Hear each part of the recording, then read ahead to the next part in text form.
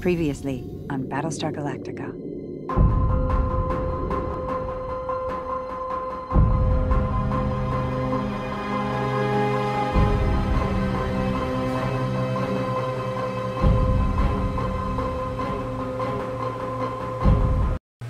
Hei, hei, og velkommen til Brettspill med Takas. I dag så har vi en gjest. Eh, vi skal da spille Battlestar Galactica. Det er et spill med mye svik og mye spenning. Hei, Og mye glem silence. usikkerhet. Silence er viktig for spillet. Ja, ja, ja.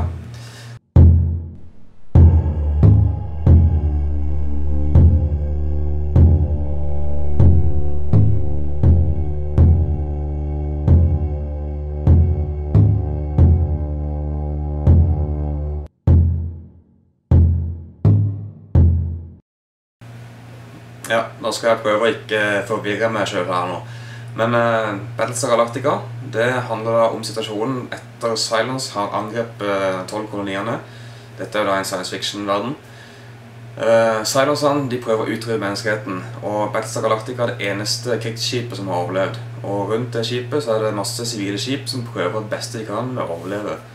Men selvfølgelig, midt i blant menneskene så finnes det forrædere. Dette er da Silence som er forkledd som mennesker. Og noen av de tror til og med sjøl de er mennesker. Og midt i spillet så kan du gjøre alt du vil, og alt du kan, bare for å Men Ja, men hvis du gjør Æsj. Ja.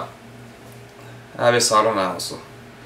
Greit, nå skal jeg prøve å stoppe mennesker med å klare dette her. Nå har jeg nettopp slitt meg i hjel bare for å få komme i gang og komme i mål, og nå skal jeg plutselig stoppe oss. Men jeg har iallfall litt lettere for å vinne, da. For det er lettere for Silence å vinne enn menneskene, så Jeg er en robot, da.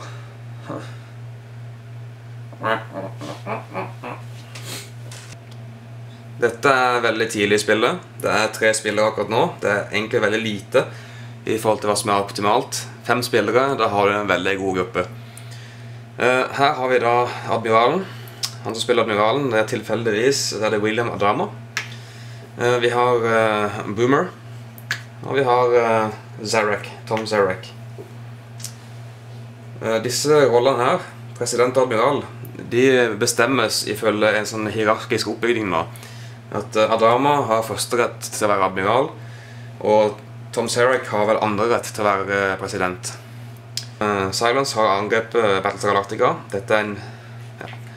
Det her tingen her, det er en base star. Kjempekjedelig. Når du ser at disse her eh, andre brikkene er skikkelig detaljerte og flotte, så kommer liksom den pappsaken her. Men nok om det. Etter at eh, alle har valgt en karakter og alle har eh, satt seg til rette, så skal det deles ut disse her lojalitetskortene. De forteller deg hvem du hører til. Du skal ikke vise det til noen, det er hemmelig, og det er kun du som vet det.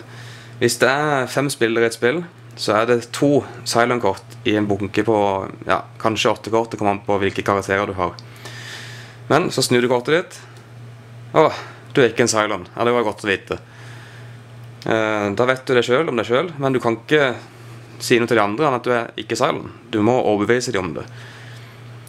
Og så kommer vi reiser reise et stykke. Vi kommer halvveis til Cobol. Og så deles ut nye kort. Og da kan du selvfølgelig få et nytt sånt kort. Eller du er en Cylon. Du har vært det hele tida, men først nå finner du ut av det sjøl.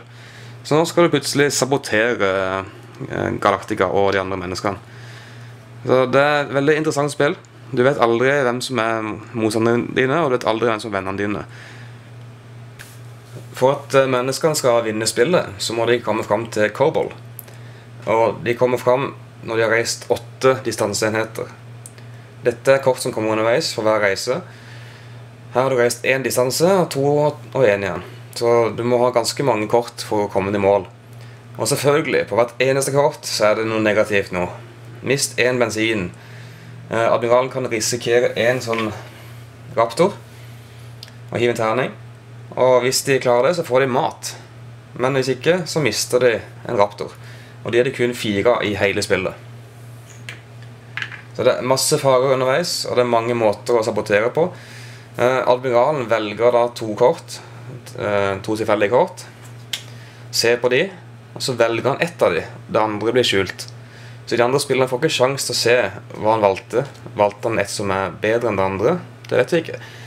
Er han kanskje en Cylon sjøl? Det vet vi heller ikke. Så det, det, er mange måter å begynne å spekulere. Hvis du velger den som gir at du mister bensin altså, Ja, hvorfor valgte du ikke det andre? Nei, det var mye verre, sier du bare da. Og da må du bare stole på det. Hvis ikke de stoler på det, så tror de at du er Cylon. Og da må de begynne å, krangle litt uh, med hverandre. Og det er litt av moroa.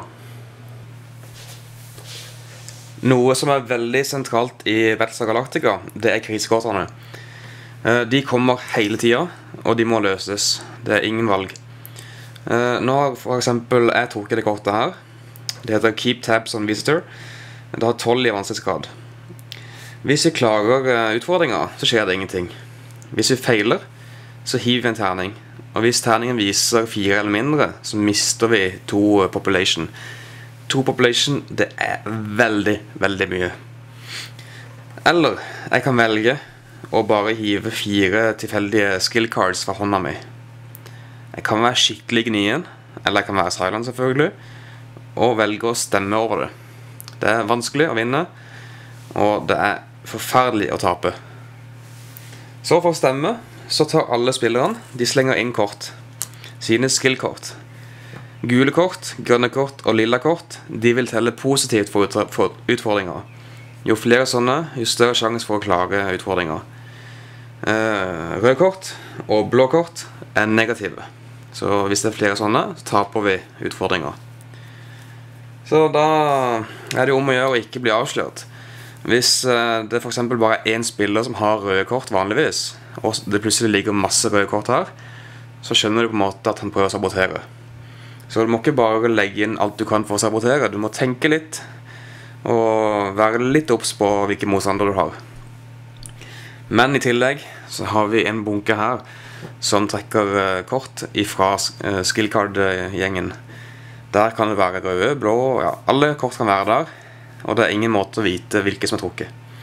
Så hvis det plutselig ligger fire røde kort her, så kan det komme to derfra. Og to fra den eneste spiller som har røde kort, så skjønner du hvem det er som er synderen. Mest sannsynlig. Men da spiller jeg mine kort. Jeg er da ikke Cylon, så jeg velger å spille positive kort. Jeg legger de i munk i midten, og vi trekker to herfra, som ingen vil se. Neste spiller velger sine kort. Han er kanskje Cylon, det vet ikke jeg. Så da kommer det to kort til der. Neste spiller igjen. Han velger sine kort. Han kan være Cylon, det vet ikke jeg heller. Jeg vet ingenting om de andre spillerne. Neste spiller spiller sine kort. Og til slutt så spiller siste spiller eh, to kort. Du kan velge å stå over. Det er helt opp til deg. Da har vi en bunke her. Den blir stokka av meg, som er gjeldende spiller. Og så ser vi. Vi begynner å telle opp kort. Grønt kort, der er vi oppe i pluss tre. Det er veldig bra. Fire. Ah, minus fire, der er null. Fem. Uh, ja, nå er vi egentlig oppe i fire igjen. Fem. Syv. Ti. Tretten. Oh, ti. 11 12, da har vi klart det. Og yes 16 Da klarte vi utfordringa, så ingenting skjer. Det var to røde kort Og i dette tilfellet så var det bare én spiller som har røde kort. Men de kan jo Han kommer derfra, det vet vi ikke. Så det er litt vanskelig å uh, si om han er Cylon eller ikke. Det kan jo være at han var Cylon Så nå har på en måte uh, mistanken begynt Og det er bare å anklage vei men vi klarte det. Ingenting skjer. Heldig for oss. Så etter hvert hvem skal du stole på? Hvem skal du ikke stole på? Er du sjøl Cylon? Vil du prøve å klare det? Vil du ikke prøve å klare det? Det er et veldig gøy spill. Og det er hele tida mulighet til å peke på de andre spillerne. Du er Cylon. Nei, du er Cylon. Nei, jeg er Cylon. Ha-ha, lurte dere. Så det, det er fryktelig gøy eh, Hva skal jeg si for noe? partyfaktor i spillet. da Hvis du liker underholdningsspill, så vil du nok like Battlestar Galactica. For dette går ut på opplevelse. Eh, Selve spillet er bra i seg sjøl, det også, men det er lagt opp til at du skal ha en god opplevelse. Så hvis du ikke er noe glad i sånne opplevelsesspill, så kan du egentlig bare ja, ligge litt unna. Men hvis du liker god opplevelse og gjerne har sett serien Du er ikke nødt til å ha sett serien for å like det. Men det er selvfølgelig en fordel, for du får litt mer innlevelse og litt mer sånn eh, nærhet til spillet. Men jeg anbefaler å spille godt. Det er et veldig bra spill. Og det finnes jo tilleggspakker, da, men de skal jeg ta i andre videoer. Men til å begynne med så holder det veldig lenge med bare originale esker. Det eneste som er litt negative, det er jo disse her små pappbrikkene som skal være base starters islands. De er litt sånn kjedelige. I tanke på at du får masse sånne små plastikkskip ved siden av, så kommer det sånn pappbrikker. Det... Men uh, det betyr ingenting for spillet. Det er bare en liten sånn En liten fileting. Jeg digger spillet og anbefaler det godt. Hvis det er noe for det, altså selve spillmekanismen, så er dette her virkelig bra spill.